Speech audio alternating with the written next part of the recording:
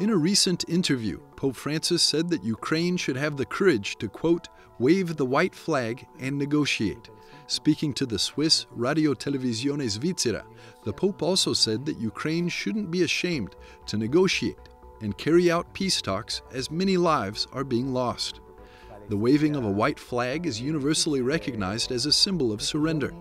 The Pope's remarks prompted immediate reactions from both the Ukrainian and German ambassadors to the Holy See.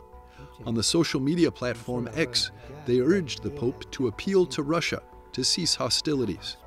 Fittingly, as the world responded to Pope Francis's remarks, a conference on truth, justice, and liberty in a plurianthropological world took place at the Pontifical Gregorian University.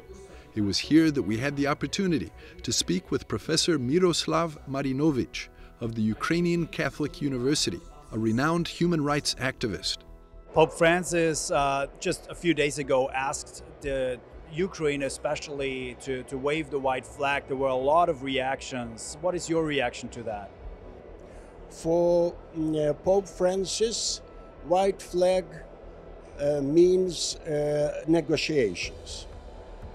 For us, it means surrender. For him, it is better to save human lives. And we know that we lose, we will lose human lives and we will lose our opportunity to be a, a, a nation if we surrender.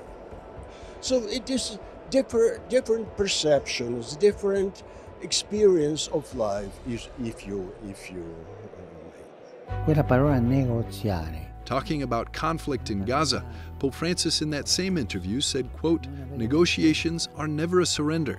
It's the courage not to carry a country to suicide.